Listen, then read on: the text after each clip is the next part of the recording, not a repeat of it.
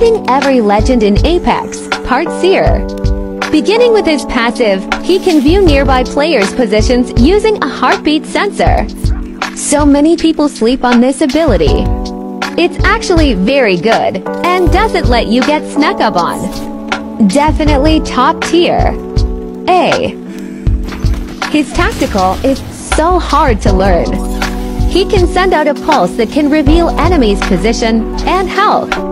If you can hit this, it's the best skin in the game. There is a lot of room for error with this though, so be careful. A. His ultimate is a lot simpler. He can throw down a sphere that captures enemy movement inside its dome.